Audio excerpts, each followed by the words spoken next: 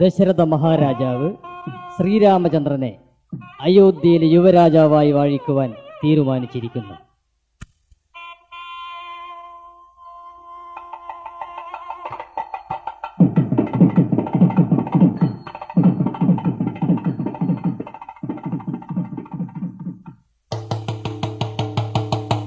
കോസല രാജ്യാധിപൻ ദശരഥ മഹാരാജാവ് സ്ഥാനം കൊണ്ടും പെരുമ കൊണ്ടും അവകാശം കൊണ്ടും രാജ്യകാര്യങ്ങളിൽ പങ്കുകൊള്ളും.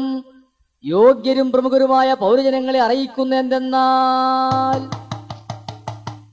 അയോധ്യ മഹാരാജൻ ദശരഥൻ രാജ്യത്ത് യുവരാജാവായി പാരമ്പര്യവും കുലർമ്മവും അനുസരിച്ച് രാമകുമാരനെ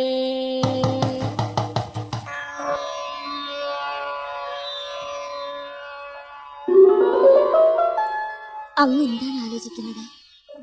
കൈകേയി.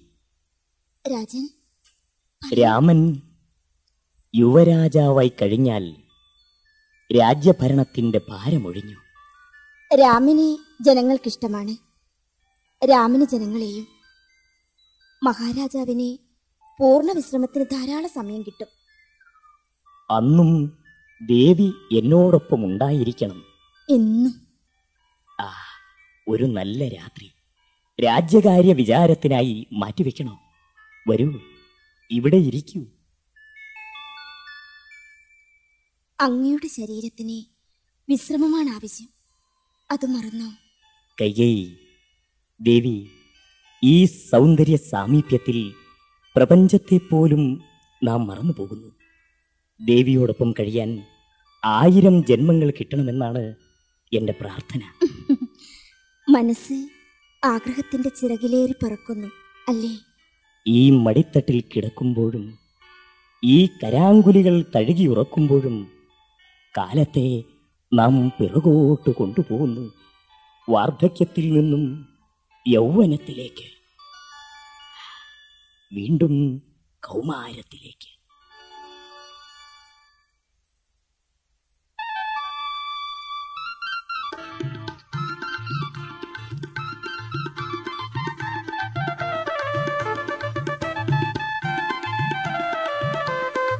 പട്ടാഭിഷേക മഹോത്സവത്തിന് ജനങ്ങൾ ഒരുങ്ങിക്കഴിഞ്ഞു. കോസല രാജ്യം മുഴുവൻ അഭിഷേകത്തിന്റെ ആനന്ദ ലഹരിയിലാണ് ഭരതനും ശത്രുഘ്നും ആളയച്ചു കഴിഞ്ഞു. മുഹൂർത്തത്തിനെത്തിയില്ലെങ്കിലും അവർ വരാതിരിക്കില്ല. ദേവി.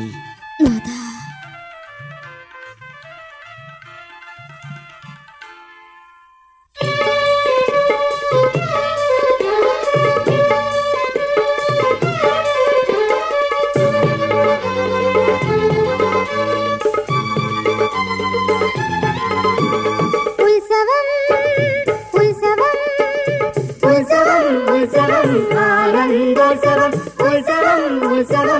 ഉത്സവം അഭിഷേകോത്സവം അയോധ്യപുരിയിൽ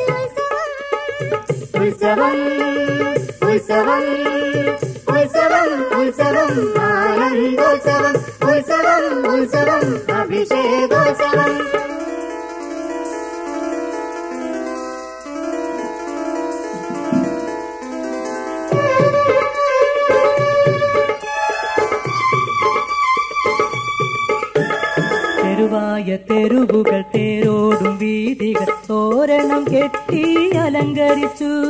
തെരുവായ തെരുവുകൾ തേരോടും വീതികൾ തോരണം കെട്ടി അലങ്കരിച്ചു. ഉത്സവം ഉത്സവം ഉത്സവം ഉത്സവം ആനന്ദോത്സവം ഉത്സവം ഉത്സവം അഭിഷേകോത്സവം.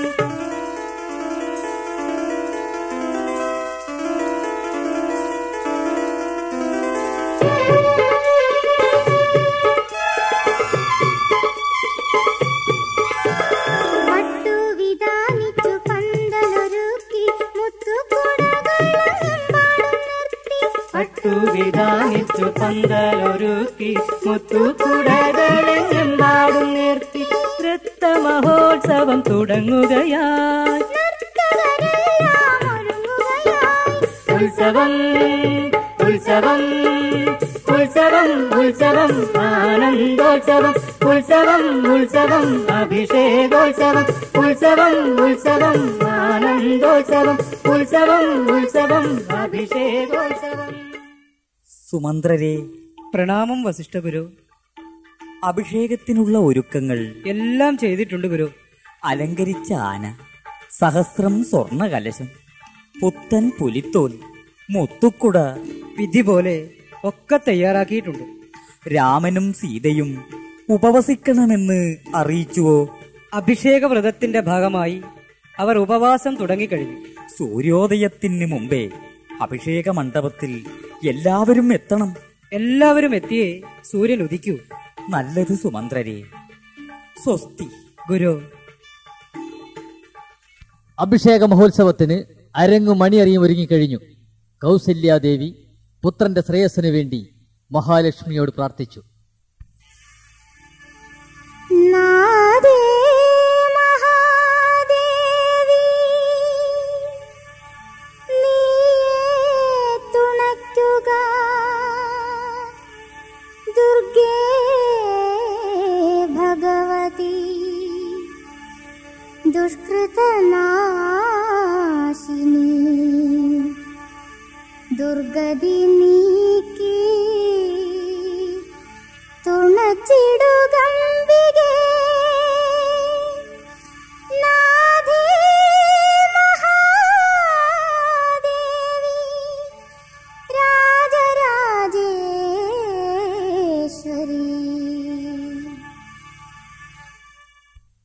സ്വച്ഛ നിലിമയാർന്ന അയോധ്യയുടെ വനവീതിയിൽ കാഗോളമേഘങ്ങളുടെ ആപൽ സൂചനകൾ കൊട്ടാരത്തിന്റെ അകവും പുറവും ആനന്ദത്തിന്റെ അവിരാമാനുഭൂതികൾ നുകരുന്ന ആ നാളുകളിൽ അപ്രതീക്ഷിതമായി പ്രളയ പ്രചണ്ഡതയുടെ ഇടിമുഴക്കം.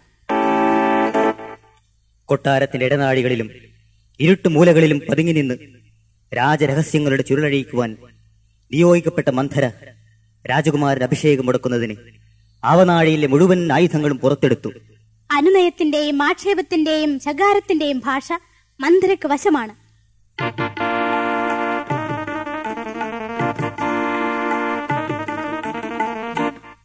കൈകൈ ദേവി അറിഞ്ഞില്ലേ? രാമൻ യുവരാജാവായി അഭിഷേകം ചെയ്യപ്പെടുന്നു. അറിഞ്ഞു മന്ത്രി. എന്നിട്ടാണോ ഈ അലസത? ചിന്തിച്ചിട്ടുണ്ടോ? രാമൻ രാജാവായാൽ ആർക്കാ ഗുണം? രാജ്യത്തിന് രാജ്യത്തിനോ? കൗസല്യാദേവിക്കാണ് ഗുണം. കൗസല്യയുടെ മകൻ യുവരാജാവ് കൈകൈയുടെ മകൻ കുന്തക്കാരൻ. മന്ധരെ ഹും, അന്തപ്പുരം കിളിക്ക് ഉറക്കെ വിളിച്ചാലും മന്ദര പറയാനുള്ളത് പറയും. എന്റെ മഹാറാണി കൗസല്യാദേവിയുടെ അടുക്കളക്കാരിയോ വിഴുപ്പലക്കുകാരിയോ ആയാൽ? ഇല്ല മന്ത്രി അതൊന്നും സംഭവിക്കില്ല. ആലോചിച്ചു നോക്കൂ. ഭരതകുമാരൻ രാജ്യത്തില്ലാത്ത സന്ദർഭത്തിൽ വേണമായിരുന്നോ ഈ അഭിഷേക മഹോത്സവം? ഇതൊരു ഗൂഢാലോചനയുടെ ഫലമാണ്.